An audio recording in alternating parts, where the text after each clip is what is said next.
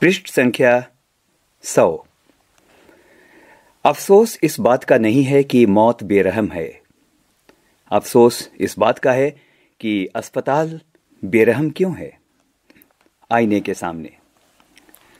कृष्णचंद्र। जन्म। सन 1914 पंजाब के वजीराबाद गाँव जिला गुजरांकला। प्रमुख रचनाएँ। एक गिरजा एक खंदक। यूकेलिप्टस की डाली कहानी संग्रह। शिकस्त। जरगांव की रानी। सड़क वापस जाती है। आसमान रोशन है। एक गधे की आत्मकथा। अन्नदाता हम वहशी हैं। जब खेत जागे। बावन पत्ते। एक वायलिन समंदर के किनारे। कागज़ की नाव। मेरी यादों के किनारे। उपन्यास। सम्मान। साहित्य अकादमी सहित बहुत से पुरस्कार।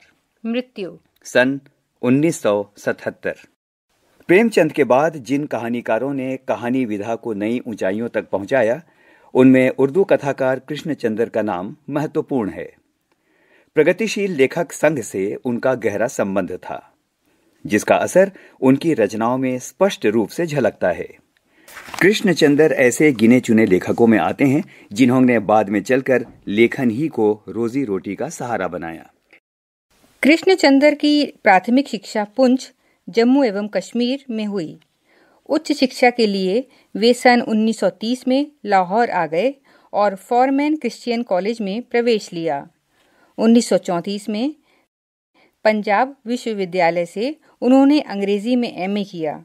बाद में उनका जुड़ाव फ़िल्म जगत से हो गया और अंतिम समय तक वे मुंबई में ही रहे।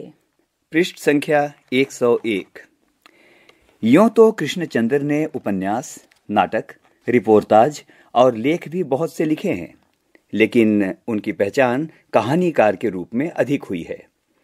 महालक्ष्मी का पुल, आईने के सामने, आदि उनकी मशहूर कहानियाँ हैं। उनकी लोकप्रियता इस कारण भी है कि वे काव्यात्मक रोमानियत और शैली की विविधता के कारण अलग मुकाम बनाते हैं। कृष्णचंद्र उर्दू कथा साहित्य में अनूठी रचनाशीलता के लिए बहुचर्चित रहे हैं। वे प्रगतिशील और यथार्थवादी नज़रिए से लिखे जाने वाले साहित्य के पक्षधर थे। जामुन का पेड़, कृष्णचंद्र की एक प्रसिद्ध हास्य व्यंग्य कथा है। हास्य व्यंग्य के लिए चीज़ों को अनुपात से ज़्यादा फैला फुलाकर दिखलाने की परिपाटी पुरानी है और यह कहानी भी उसका अनुपालन करती है।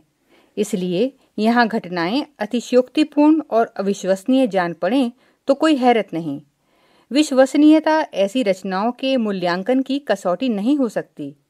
प्रस्तुत पाठ में हँसते हँसते ही हमारे भीतर इस बात की समझ पैदा होती है कि कार्यालयी तौर तरीकों में पाया जाने वाला विस्तार कितना निरर्थक और पदानुक्रम कितना हास्यास्पद है। बात यहीं तक नहीं रहती। इस व्यवस्था के संवेदन शून्य एवं अमानवीय होने का पक्ष भी हमारे सामने आता है।